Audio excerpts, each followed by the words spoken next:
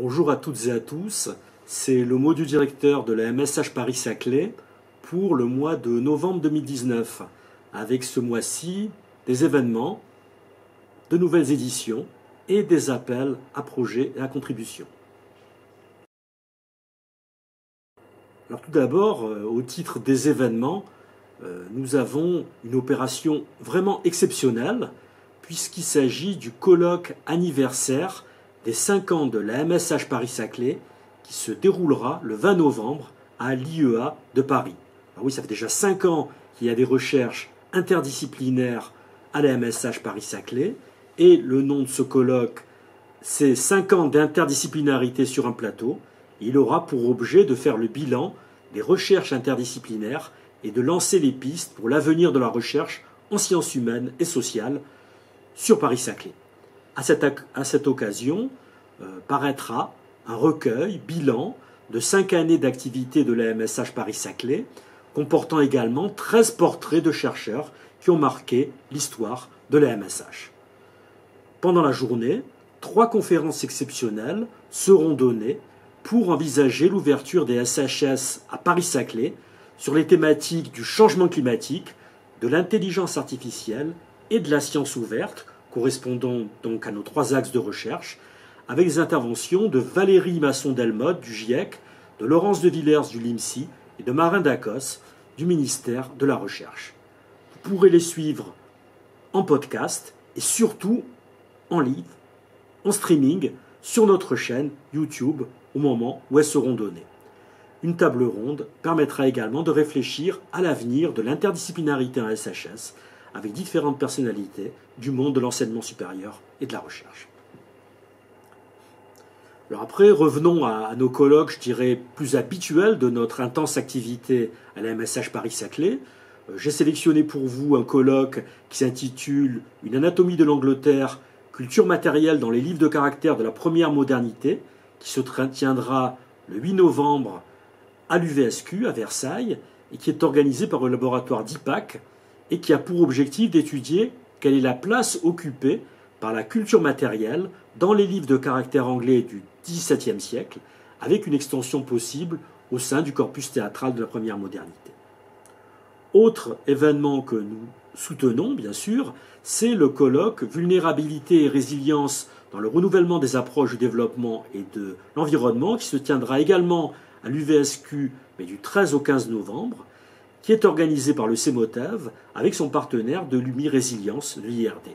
Ce colloque a pour objet de faire un bilan perspective des apports et des limites des concepts de vulnérabilité et de résilience près de 20 ans après le début de leur diffusion dans les recherches académiques ainsi que dans les politiques de développement et d'environnement. Enfin, dernier événement euh, que j'ai retenu ce mois-ci, c'est le workshop Momentum, euh, Énergie nouvelle et société, qui se tiendra le 21 novembre à l'ENS Paris-Saclay. Cette rencontre s'inscrit dans le cadre du, programme de recherche Momentum, qui est une initiative de recherche stratégique de l'Université Paris-Saclay.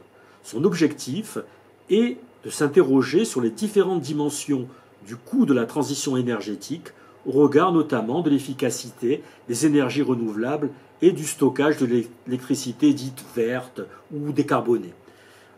cette journée vise également à interroger les usages des énergies renouvelables en lien notamment avec l'acceptabilité sociale des solutions technologiques proposées. en termes d'édition, j'ai également une très grande nouvelle, pour nous en tout cas, à vous annoncer. C'est la parution du quatrième ouvrage de la collection Actes de la MSH Paris-Saclay. Et cet ouvrage s'intitule Sociologue et économiste face à la demande de savoir, participation et contournement. Il est édité par Marise Bresson, Jean Cartier-Bresson et Monique Hirschhorn. Ce nouvel ouvrage met en avant des communications qui ont été réalisées lors de deux événements soutenus par la MSH Paris-Saclay et deux événements qui ont trait à la demande de savoir. En effet, les chercheurs en sciences sociales sont confrontés à une demande plurielle en termes de savoir. Euh, elle ne mobilise pas seulement l'activité proprement dite de recherche, productrice de données et d'analyse, mais elle fait également souvent appel à l'évaluation, à l'expertise, voire à la vulgarisation. Cette demande provient de différents lieux également. Euh, des pouvoirs publics qui mettent en place des programmes cadres de recherche et développement européens ou au niveau national, mais aussi du secteur privé, des associations, de groupes constitués, et aussi, de manière plus diffuse et relayée par les médias, venant des citoyens eux-mêmes qui demandent une description une explicitation des phénomènes sociaux, politiques, économiques et qui jouent un rôle de plus en plus important. Et puis évidemment y ajouter la demande propre des chercheurs. Donc voilà ce nouvel ouvrage, Sociologue et économiste face à la demande de savoir, qui est publié par la MSH Paris-Saclay et que nous pouvons vous envoyer sur demande.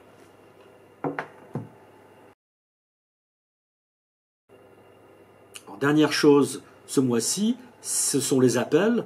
Tout d'abord, je voudrais vous signaler un appel à projet inter-MSH qui est porté par le groupement d'intérêt scientifique du Réseau national des maisons des sciences de l'homme.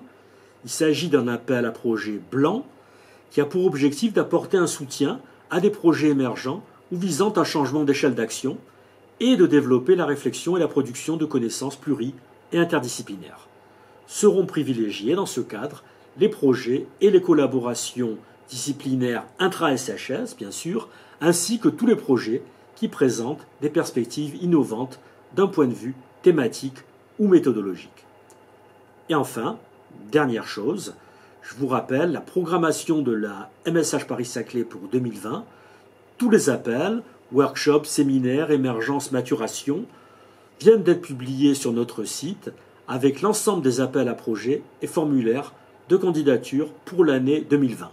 La première date de dépôt est d'ores et déjà fixée au 15 décembre 2019. Donc j'aurai l'occasion de vous en reparler le mois prochain. Je vous dis donc au revoir et à bientôt pour de nouvelles aventures.